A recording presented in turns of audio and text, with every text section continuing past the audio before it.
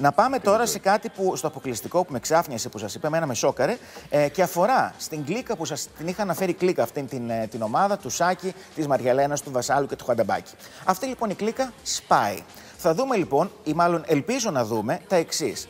Η Μαριαλένα και ο Βασάλος ξεκινούν, ε, γνώση του Σάκη, ξεκινούν μια κουβέντα μπροστά στον Τάκη. Ή και ο Τάκης ξεκινάει έτσι και την κουβέντα παρέα τους και συζητούν για το Χανταμπάκη.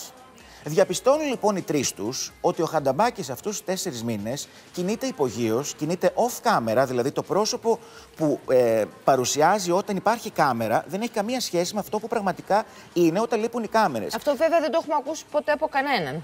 Υπήρχε κάποια στιγμή. Δηλαδή ούτε από παίκτη που έχει αποχωρήσει. Έχει ακουστεί λίγο συμπόνια όμως, όχι έτσι καθαρά. Έχει αφαιθεί ω υπόνοια ότι είναι άλλος εκτός κάμερας. Δεν θυμάμαι ποιος μας το είπε σε συνέντευξη. Σε ρώτησε ποιος είναι. Ναι.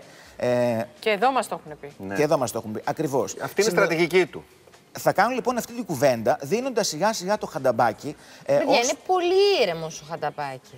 Βλέπουμε Ναι, αλλά να δεν είναι, είναι αυτός πολύ ο άνθρωπος ήρεμος. στην κανονική ζωή, αυτό λέμε. Δηλαδή δεν Είναι συμμετέχει μια καν τακτική. σε καυγάδες. Δεν τον βλέπουμε να συμμετέχει σε καυγάδες. Ξαναλέω, το τι βλέπουμε τελικά στο μοντάζ με αυτό που πραγματικά γίνεται μπορεί να μην έχει καμία σχέση. Ποιο είναι το μυστικό που διέρευσε; Αυτό, αυτοί λοιπόν την κουβέντα κάνουν και μάλιστα λένε ότι ο Χανταπάκης είναι αυτός που βάζει λόγια σε άλλους για να τα λένε αυτοί μπροστά στις κάμερες για να δρομολογεί κάπως τα πράγματα.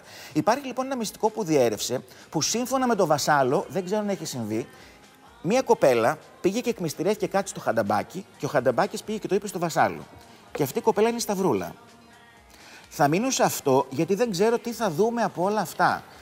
Δεν ξέρω για ποιο λόγο κάνουν αυτή την κουβέντα. Ξέρω όμως επειδή. Άρα είναι σαν να λέει ότι αυτός δεν κρατάει. Παρότι δεν το είναι- είπε δεν σε είναι εμπιστοσύνης. μένα. Δεν είναι εμπιστοσύνης. Δεν κρατάει τα μυστικά. Το κάνουν γιατί έτυχε να γίνει αυτή η κουβέντα. Το κάνουν γιατί θέλουν να δρομολογήσουν στην περίπτωση που χάσουν οι κόκκινοι την ψήφο τους να την αιτιολογήσουν. Μπορεί. Σας λέω τι έχει συμβεί και να αναμένουμε. Αυτό δηλαδή η τετράδα πια σπάει. Δίνουν το χανταμπάκι ε, ως τον κακό της ιστορίας της Σε παρεού, ο Τη Χανταμπάκης. παρεού. Σε παρεού. Σε παρεού, ναι. Νίκο, μου σε ευχαριστούμε πάρα, πάρα πολύ.